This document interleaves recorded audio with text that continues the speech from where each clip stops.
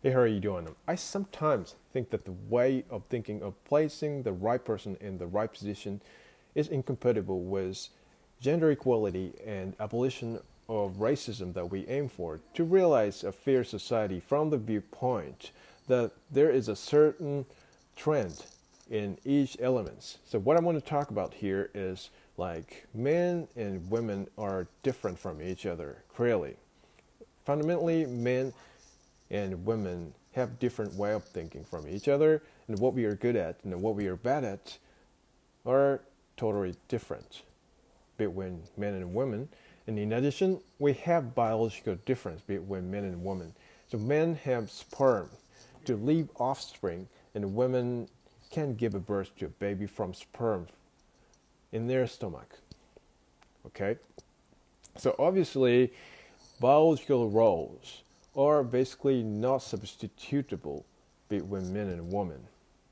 So apart from individual excellent abilities, the movement of gender equality in a society after elimination of gender discrimination is far from the way of thinking of placing the right person in the right position. Considering the trend of various statistics indicators, right?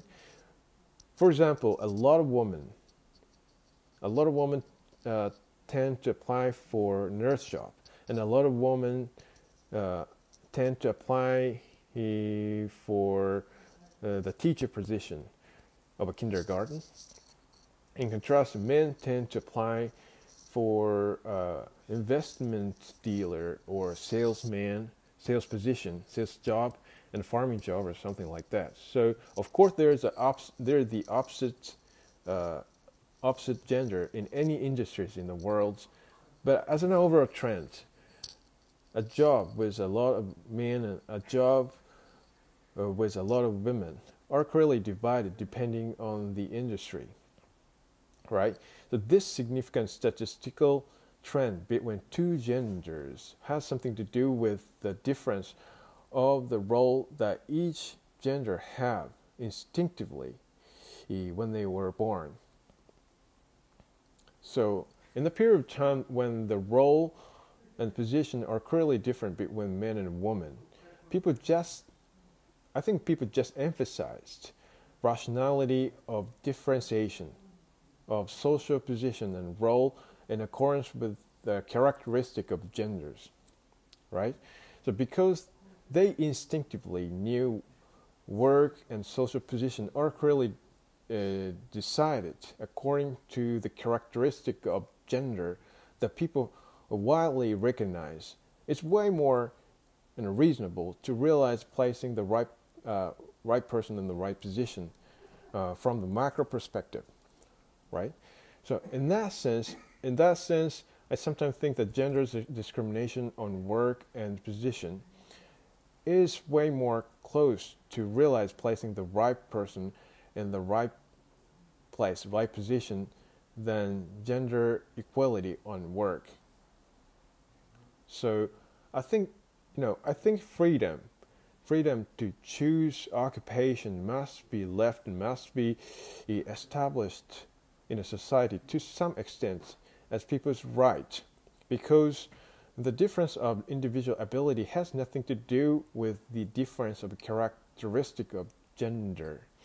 There's always minority of the opposite gender with high potential that can overcome the envir- environment where people say it's impossible for the gender to work on.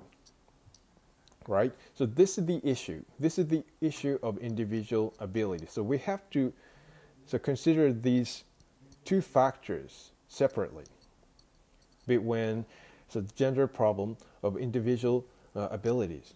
So, for example, um, a lady keeps working uh, keeps working in a sales company, and a lady keeps making a great uh, sales achievement in a sales company whose workers are uh, ninety percent men. So, however, when we observe the trend, how we uh, However, when we observe the trend of gender uh, sociality uh, from macro perspective, macro, macro or statistics of sales achievement and the number of managers in a certain industry and income level and social status, social position and occupation and etc. I think there is a certain bias in each element depending on which gender we belong to. So from this perspective, apart from fairness of opportunity for people's individual ability, uh, gender equality is, I think, far from the way of thinking or pla- placing the right uh, right person in the right place, like, like position. So, political measures, political measures that promote women's empowerment, have been uh, enforced one after another these days in Japan. But I always wonder if the if this movement is really reasonable for Jap, uh, for Japanese women's uh, because you know, because the number of managers that account for women's population in Japanese society is uh, is still few, very few. Although the although the import, importance of women's empowerment is widely advocated in the Japanese society widely, so which means at least women's Japanese women's empowerment is not reasonable or for women from the viewpoint of placing the right right person in the right position in Japan. Of course, there is a there. Of course, there is a big element that can be categorized as woman who who raised and grew up in a Japanese society. So simply speaking, simply simply speaking, you know, racial characteristic, uh, plus gender characteristics don't accept possibly the concept of women's empowerment and gender equality in Japan in their deep mind. So the idea of gender equality doesn't necessarily bring fairness in both gender in a society in a real sense. I think this is my opinion. So rather clarifying the role of gender discriminately with the understanding of characteristic of gender is more reasonable for people to realize real fairness in a society in a real sense i think however if genders if gender equality that is advocated widely in a society comes from people's simple emotion like men always have a good social status and they always get a great job with a great salary women should be also given a given the right to get a job that is socially respected or something. I think there is a huge bias between people's emotional aspects and actual condition. You know what I mean?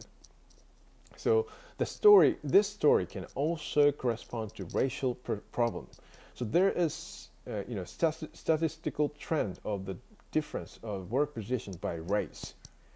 Like the percentage of managers in a company that count for white, white people or is much more than other races. And the percentage of labor that account for uh, Hispanic people is much more than other races in the in the states. The percentage of basketball players that account for black people is much more than other races, right? So or something like that. So the difference of apti aptitude for of job according to races is uh, extremely biased. So when we think this, when we think about this fact, so discrimination is naturally existing in our society. Rather, we possibly accept this situation because this is the essence of difference and uniqueness of individuals, right? Of course, we, if we want to resist this kind of, you know, gender trend and racial trends, racial trends, you make great effort to overcome the num- a number of missions, number of difficulties to prove that there is a certain uh, gender equality in a society. That's all right. However, when we think of, when we think about people's happiness, we really have to figure out if we re- we are really happy if we do our activity within the range that the group that individuals belong to is aptitude for or if you are if we were really happy if we you know take take the stance to resist racial and gender aptitude or trends. So one thing I can say for sure uh, is that um, Japanese people are really not suitable for managing a company from the perspective of racial characteristic when we see the situ- when we see the economic situation in Japan.